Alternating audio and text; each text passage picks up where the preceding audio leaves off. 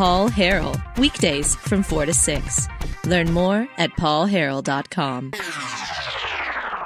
Lieutenant Governor Tim Griffin is on the line. Tim, welcome back, sir. Thank you for having me. I appreciate it. Absolutely. Just go ahead. The floor is yours. What does Christmas mean to you? Well, the first thing, yeah, I've been thinking a lot about this since you uh, raised the question, and uh, uh, the obvious is uh, that it is ultimately about uh, the birth of Christ and Christ coming down to earth. But let me let me back up for a second. Been thinking about Christmas memories, and the first thing I will say that is that, that Christmas, when you think back, I'm 49, so I think back over all the years of my life.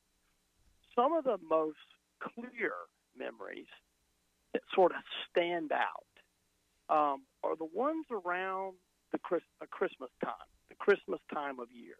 So the first thing I would, I would say is Christmas memories are are sharper in my mind on many in many cases, uh, and I, some of that may be because you can always there's always something unique about it that that you're that you can remember. You know whether it was where you were or uh, something that occurred or maybe a special gift when you were young or something like that. So so first I just say that there is something separate from the rest of the year about what you experience during this time of year, particularly as a young person, right? And um, so, having said that, a lot of my Christmas, um, particularly at 49, is focused on uh, ensuring that my kids are, are are understanding what it's really all about, and that's in in today's society that's not easy right? Because they're bombarded with commercial after commercial, and and I want them to have a wonderful uh, Christmas with gifts and all the traditions.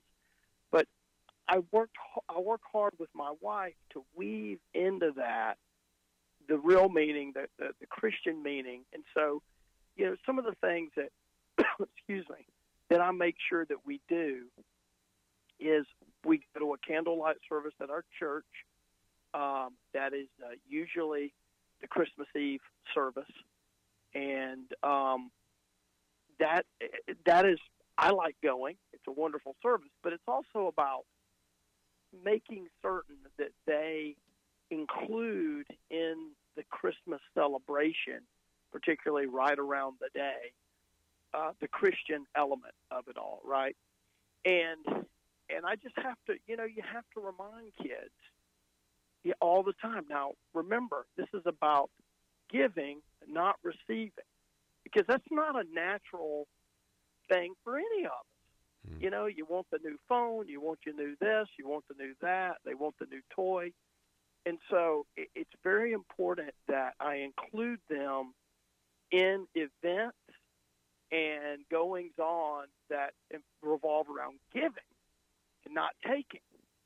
Um, but, but I will say this too: it's about it's about communicating to your kids that and to your family that the the sort of oneness that you have when you're all around, uh, whether it be watching traditional, you know, the movies that come on every year, whether it be Drummer Boy, Santa Claus is coming to town, whatever, that family time is so important and we work really hard to preserve that. And so I work really hard, and it's tough for me to say no to things as we get close to Christmas, to say no to things that would take me away from being with them.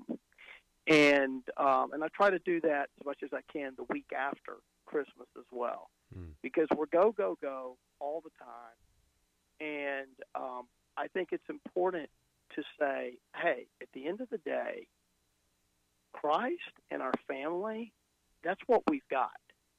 And that's what this this yes. time of year is particularly about. And if you don't fight for that, it won't automatically happen. You know, I could say yes to a bunch of stuff. Drive here, drive there, go to this event, go do that. We're almost up to Christmas Day probably. And I have to fight to say, no, okay, this is this is special time, And um, when I look back on my childhood, those times with my parents, whether it's at my grandma's house uh, or whatever, those times stand out. Um, and uh, so I guess that's sort of broadly what it means to me. Hmm. Um, We got about one more yeah, we got yeah. about one minute left. So yeah, Yeah, Go one ahead. more quick thing. So when my when my daughter when I just had one kid, my daughter was one years old or two years old, we were still going down to my mu- to my wife's parents' house in Camden to have Christmas. And I drew the line in the sand. I said, Okay, Mary Catherine's starting to grow up a little bit. I want to see her come down the stairs on Christmas morning and I want her to wake up at her house where Santa has visited and I want her to to identify with being at home on Christmas morning. So from then on, we just drew the line in the sand and said, "We're not going anywhere. Mhm. Christmas will be at our house. We may be somewhere else Christmas Eve or whatever, but Christmas morning is at our house. It's a special time." Yeah, absolutely. And I know a lot of families that have to make have to draw that line as well.